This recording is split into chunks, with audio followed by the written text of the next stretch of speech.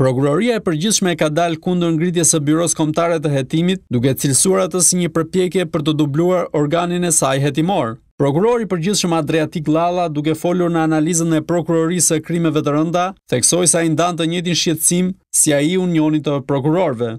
Prej disa ditësh jemi njohur me draftin e ri, i cili synon të përmirësojë kuadrin ligjor në Ligjin për Policinë e Shtetit. Në bazë të draftit të paraqitur, synohet të krijohet njësi e posaçme policore ajo e Byrosë Kombëtare të Hetimit, strukturë nëpërmjet të cilës synohet të rritet numri i referimit të veprave penale të korrupsionit të zyrtarëve të niveleve të larta.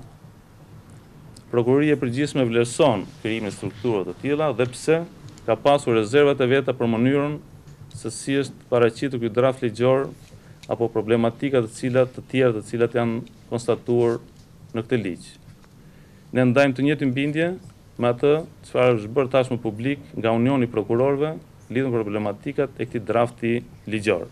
Unioni i Prokurorëve ka kundërshtuar edhe më parë iniciativën për ngritjen e Byrosë Kombëtare të Hetimit, ndërsa në po të njëjtën linjë ka qenë edhe Partia Demokratike, duke theksuar se nuk do ta miratojë në Kuvend draftin për Byronë Kombëtare të Hetimit, pasi sipas saj ajo është e varur nga ministri i Brendshëm.